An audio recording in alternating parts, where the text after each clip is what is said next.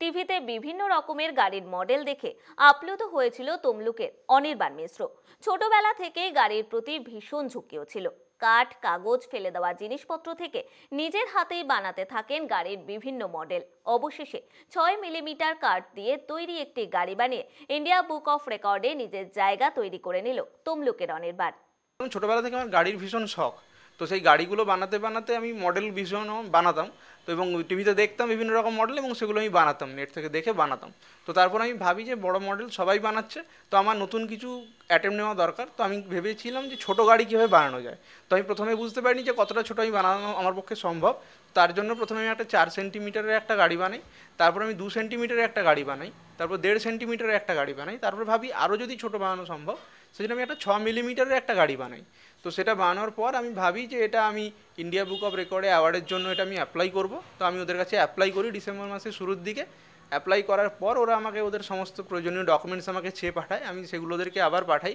তো এগুলো বারবার অনেক কিছু ডকুমেন্ট পাঠানোর পর ওরা সেটা রিভিউ করে এবং সতেরোই ডিসেম্বর আমার কাছে একটা কনফার্মেশন মেল পাঠায় যে আমি অ্যাওয়ার্ডটা পেয়েছি। তো পাওয়ার পর এটা আমার কাছে গত পরশু আমার কাছে বাই পোস্টে বাড়িতে এসে আমার পৌঁছেছে। ছবি আঁকতে ভালোবাসেন ফলে কলকাতায় একটি আর্ট কলেজ থেকে গ্র্যাজুয়েশন এবং হায়দ্রাবাদে একটি আর্ট কলেজে মাস্টার্স কমপ্লিট করে বর্তমানে আর্টের ওপরেই চাকরি করছেন অনির্বাণ। কিন্তু ছোটবেলার গাড়ি তৈরির ঝোঁক এভাবে ইন্ডিয়া বুক অফ রেকর্ডে তার জায়গা করে নেবে এটা তার কাছে অবিশ্বাস্য ছিল। ওটা কাঠের বানানো। হ্যাঁ শুধু ওই ছ মিনিটের গাড়ি ছাড়াও আর কি কি বানিয়েছেন আমি কাগজের ভীষণ জিনিস বানাতে ভালোবাসি কাগজ দিয়ে বিভিন্ন রকম বোর্ড দিয়ে।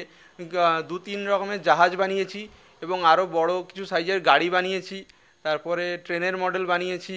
তারপরে আরও কিছু কি বলব এবং বিভিন্ন আরও ডেকোরেটিভ মেটেরিয়াল বা হাতের বানানো কিছু শোপিস এই সমস্ত জিনিস বানাই কাগজের ফুল বানাই এই সমস্ত জিনিসগুলো আমি বানাই।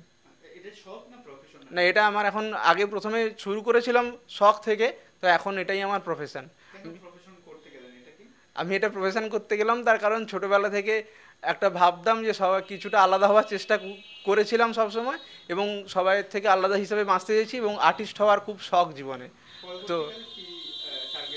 পরবর্তীকালে টার্গেট গিনেস বুক অফ রেকর্ডে যদি আমি নাম তুলতে পারি তো সেটা আমার খুব একটা ইচ্ছে সেটা আমার চাইব সেটা যাতে হয়। এবং আমি ছবি আঁকছি ছবি আঁকাটাই আমার জীবনের অ্যাকচুয়াল লক্ষ্য। ছবি আঁকছি এবং আমি সেখান থেকে মানে আর্টিস্ট হতে চাই। এই সম্মানে যথেষ্টই আবেগপ্রবণ অনির্বাণ, তাই থেমে থাকবেন না তিনি। পরবর্তীকালে গ্রেনেজ বুক অফ রেকর্ডে নিজের জায়গা করে নেওয়ার লক্ষ্য স্থির রেখে এভাবেই ক্ষুদ্র থেকে আরও ক্ষুদ্রতর গাড়ি বানানোর প্রচেষ্টা চালিয়ে যেতে চায় অনির্বাণ।